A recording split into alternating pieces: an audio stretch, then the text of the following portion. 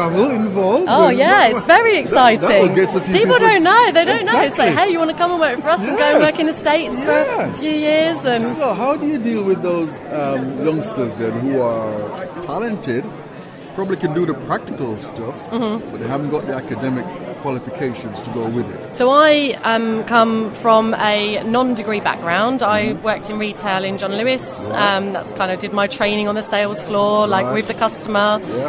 Um, and then I moved to Fortnum and Mason. Um, did a project for them as an internal project manager, and I kind of learnt my skill Right. by um, shadowing uh, the director uh, at the time, who coached me and he sort of helped me learn.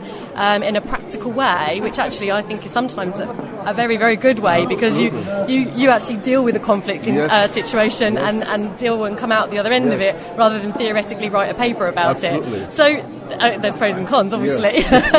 um, however, I think um, you know, for me, I see that you can come into this business in lots of different avenues now, and I think businesses are starting to change their their perception of how you come in. It's not just go and do a degree, put on a suit, come and work in and do a as a graduate. You know, you can come in in various different types of roles that we we've created actually that are servicing and fee earning to our clients, um, but they aren't technically based and you can learn your trade and we put you through training so we're getting those people doing program controls um, that's not a technical role Right. through their uh, managing successful programs Mm. qualifications so we're actually nurturing them sort of while they're once they're in the business Well, absolutely. Well, Yeah. thank you very much indeed. Nice talking to you. Nice to talk to you, And thank if I was you. younger, I'd be, I'd be looking to travel Yeah, as well. come on, man. some quest. All right, nice meeting you. Okay, all right.